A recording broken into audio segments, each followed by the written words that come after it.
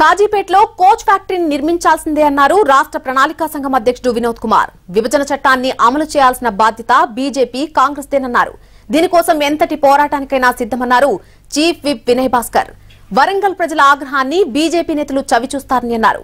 మరోవైపు కాజీపేట్ కోచ్ ఫ్యాక్టరీని టీఆర్ఎస్ అడగదు బీజేపీ ఇవ్వదు అన్నారు పీసీసీ చీఫ్ ఉత్తమ్ కుమార్ రెడ్డి. కాంగ్రెస్ అధికారంలోకి వచ్చిన తర్వాతే తామే సాధిస్తామని చెప్పారు. కమిషన్ వచ్చే అంశాలపైనే టీఆర్ఎస్కు శ్రద్దని విమర్శించారు. రాష్ట్ర విభజన చట్టంలో పొందపరచబడ్డది. ఇది హామీగా ఆనాడు కేంద్ర ప్రభుత్వం. అది కాంగ్రెస్ ప్రభుత్వమా బీజేపీ ప్రభుత్వం అనేది మన ముందున్న ప్రశ్న కాదు. కాంగ్రెస్ హామీ ఇచ్చింది బీజేపీ దానికి మద్దతు ఇచ్చింది. ఆ రోజు చట్టం పాస్ అయ్యేటప్పుడు. కాబట్టి ఇద్దరిపైన బాధ్యత ఉన్నది. కాంగ్రెస్ పైన బీజేపీ పైన.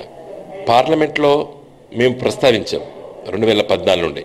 కాజీపేటలో కోచ్ ఫ్యాక్టరీ ఇవ్వాలి అని చెప్పి. ఇస్తాము చూస్తున్నాం ఆలోచన చేస్తున్నాం అని చెప్పి చెప్పడం జరిగింది.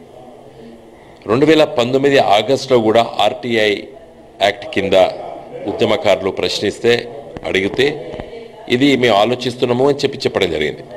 దురదృష్టవశాత్తు నిన్న ఇచ్చినటువంటి జవాబులో ఇది మేము ఇవ్వము రానున్న రోజుల్లో కూడా ఇది ఇచ్చే అవకాశం లేదు అని చాలా స్పష్టంగా మొదటిసారి బీజేపీ ప్రభుత్వం మోడీ గారి ప్రభుత్వం చెప్పడము తెలంగాణ ప్రజలకి చాలా బాధాకరమైనటువంటి వార్త ఇది.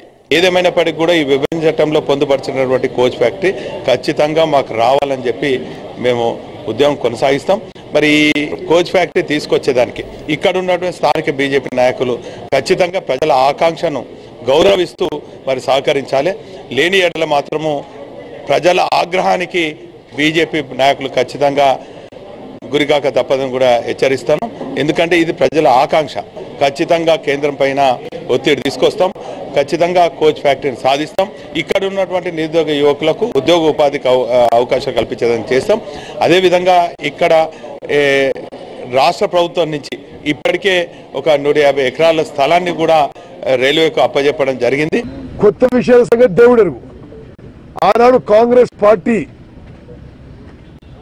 విభజన చట్టంలో ఏర్పరిచిన కాజీపేట్ రైల్వే కోచ్ ఫ్యాక్టరీ కానీ బయ్యారం స్టీల్ ఫ్యాక్టరీ కానీ ములుగులో సెంట్రల్ ట్రైబల్ యూనివర్సిటీ కానీ ఏడేళ్ళ తర్వాత ఇక్కడ టీఆర్ఎస్ అక్కడ బీజేపీ పూర్తిగా వైఫల్యం చెంది ఒక అడుగు కూడా ముందుకు వేయలేదని చెప్పి నేను మనం చేస్తాను.